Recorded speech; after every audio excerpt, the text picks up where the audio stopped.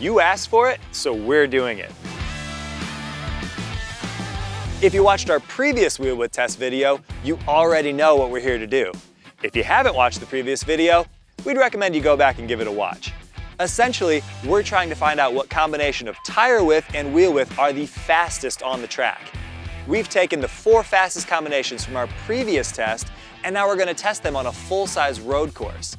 So that means we have a set of 225 45 17 tires on 8-inch wheels and a set on 9-inch wheels. And we have 245 40 17 tires on 8-inch wheels and 9-inch wheels. The last time around, all these options were very closely matched, but the 225 on the 9-inch wheel set the fastest laps in the test. Now it's time to see if that holds true with higher speeds and longer turns. Our drivers are excited for what's sure to be a great day of testing, so let's get to it. To get the most out of our testing and also ensure our BRZs were ready for use on the track, we made some minor modifications in the days leading up to our test. We added Whiteline adjustable camber bolts and gave all our cars identical alignments with 2 degrees of negative camber at the front wheels. The added negative camber would help use more of the tire's contact patch through turns, enhancing traction and also improving wear. Front and rear TR Select brake kits with Hawk DTC 60 pads and Centric 120 series rotors were also installed and properly bedded in to make sure we could confidently slow our cars without any fade that would interfere with our results. Once those important items were addressed, we were ready to hit the track. Similar to what we found on our test track, the 225 on the 8-inch wheel felt incredibly natural, the steering responded quickly, with a nice buildup of effort and great feedback for the driver. It always felt like all four tires were working in unison, with just a small amount of rotation that carved a tidy arc at corner exit. The braking was strong, overall traction was great, and it was satisfying to drive lap after lap. The 225 on the 9 inch wheel felt similar to the 225 on the 8, but with everything turned up a notch. The steering was faster with nearly immediate turn in and precision that pointed the nose of the vehicle exactly where the driver wanted. This combination rotated a little more easily at corner entry, just enough to set up for the perfect apex and exit, and it felt very planted as the car powered away from turns.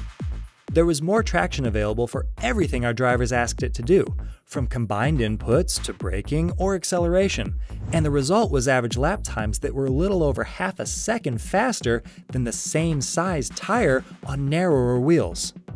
The 245 tire on the 8 inch wheel matched the lap time of the 225 tire on the 8 inch wheel down to the hundredth of a second, but it didn't feel as willing to do what was being asked of it and it was far off the subjective feel provided by the 225 on the 9. The turn in was slower, and there was a slight delay between input and response. The traction was there, but it never felt as sharp as the narrower tires. The front end pushed a bit more before finding grip, and the rear wasn't as planted, especially through the S's where it took longer to settle before loading up for the next transition. It was still very good, and if our team had never driven any of the other combinations, the 245 on the 8 would have felt very satisfying. But as it stands, our drivers were unanimous that it was the least preferred option of the group. The 245 on the 9 inch wheel was an interesting combination for our team.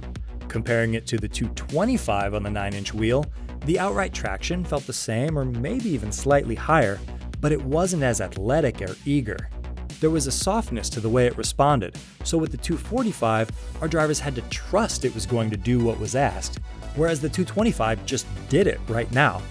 The turn in wasn't as sharp or confidence inspiring, and it wasn't as adept through faster transitions. It seemed to make up for some of that shortcoming through the highest speed corners on the track, though, where our drivers could commit and once again trust the lateral grip to pull through. Ultimately, this combination set the fastest average lap by 8 hundredths of a second.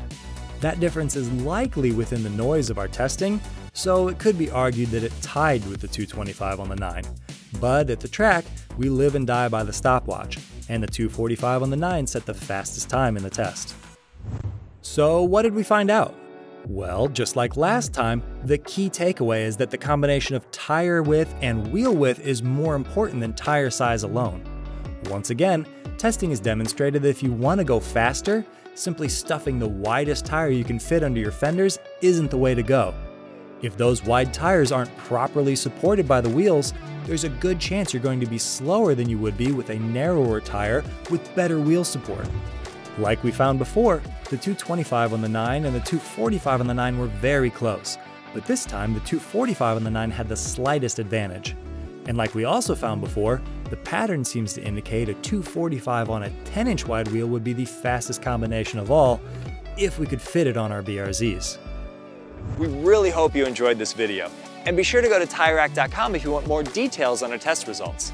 And if you want to see more test content like this in the future, be sure to leave your comments and suggestions below and like, share, and subscribe.